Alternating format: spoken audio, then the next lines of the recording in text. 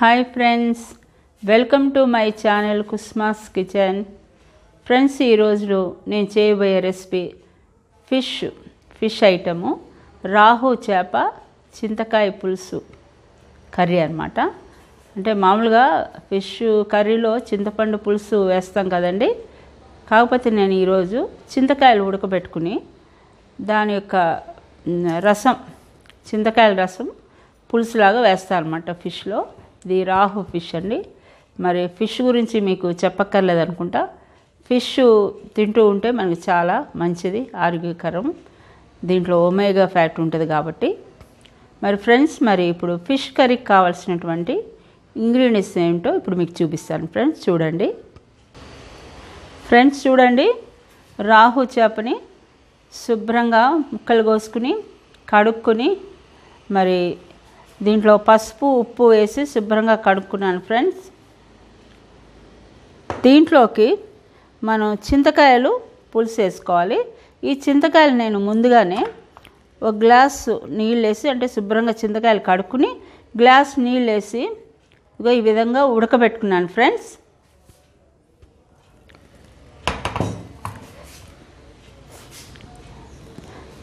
Press చేయి. Friends మరి ఈ చేపల కూరలోకి ఉల్లిపాయలు కావాలండి. మరి ఉల్లిపాయలు వెల్లుల్లిపాయ జీలకర్ర. ఇది నేను ఈ విధంగా పేస్ట్ చేసుకున్నాను.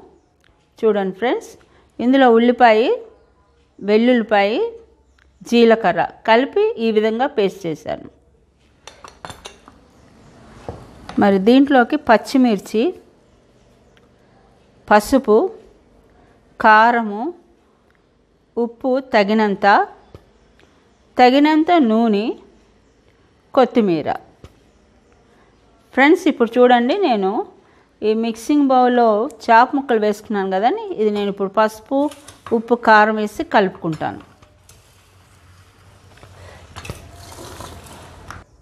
ఫ్రెండ్స్ చూడండి ఈ చాప ముక్కల్లోకి ఈ పచ్చిమిర్చి ముక్కలు వేసేస్తున్నా. దీంట్లోకి తగినంత ఉప్పు వేసుకోవాలి.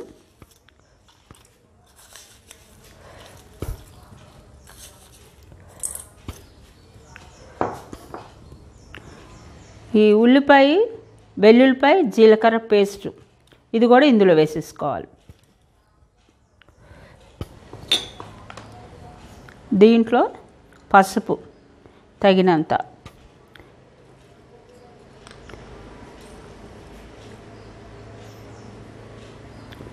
కారం తగినంత. ఫ్రెండ్స్ గమనించండి చేపల కూరకి కొంచెం కారము పులుపు నూనె తగినంత ఉంటేనే టేస్ట్గా ఉంటుంది. కాబట్టి చూసి వేసుకోండి ఫ్రెండ్స్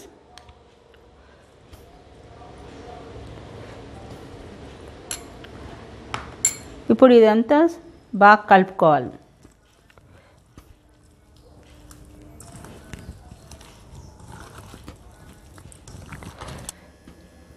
ఫ్రెండ్స్ స్టవ్ ఆన్ చేసి ఇదిగో నేను ఈ గిన్నె పెట్టుకున్నానండి. ఇప్పుడు నూనె వేసుకుంటున్నా.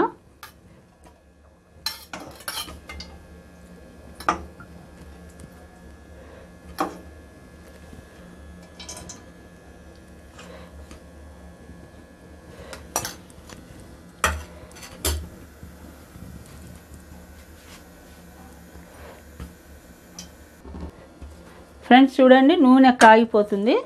ఇప్పుడు మనం ఈ చాప ముక్కలు వేసేద్దాం అందులోకి.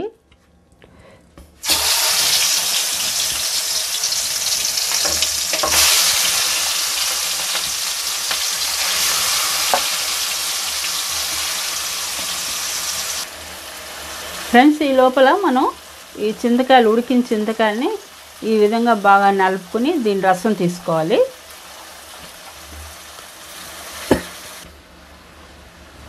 ఫ్రెండ్స్ ఇవి ఉడికేటప్పుడు ఇలా కొంచెం ఇట్లా ఎగరేసుకోవాలి. గరిట పెట్టి కలిపితే ముక్కలు చిదిరిపోతాయి. ఇప్పుడు ఉల్లిపాయ బాగానే వేగింది ఫ్రెండ్స్.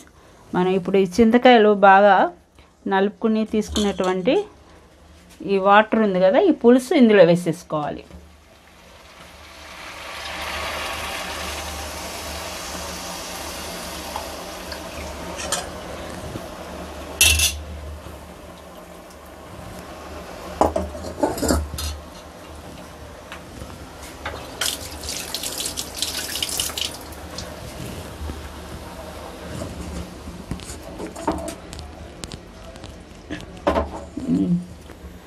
ఇది ఇప్పుడు కొంచెంసేపు ఉడకనిద్దాం ఫ్రెండ్స్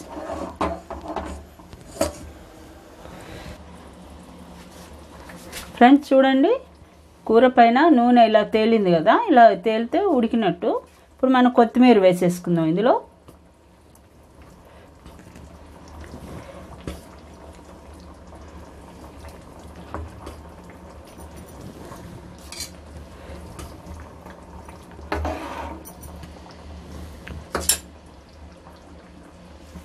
ఇక స్టవ్ ఆఫ్ చేస్తున్నాను ఫ్రెండ్స్. కూర ఉడికిపోయినట్టే ఇక సర్వింగ్ బౌల్లో తీసుకుంటాను ఫ్రెండ్స్ చూడండి గుమగుమలాడే రవ్వ చేప పులుసు చింతకాయలతో ఉడికిచ్చిన పులుసుతో చేసినటువంటి రవ్వ చేప పులుసు. ఫ్రెండ్స్ చాలా మంచి వాసన ఫ్లేవర్ వచ్చేస్తుంది. ఇది చూస్తుంటే ఇప్పుడే తినాలనిపిస్తుంది అన్నంలో కలుపుకొని. ఫ్రెండ్స్ మరి మీకు నేను చేసినటువంటి ఈ రెసిపీ నచ్చినట్లయితే మరి మీకు నేను చేసినటువంటి ఈ రాహు చేప పులుసు నచ్చినట్లయితే చింతకాయలతో పులుసు అనమాట ఇది.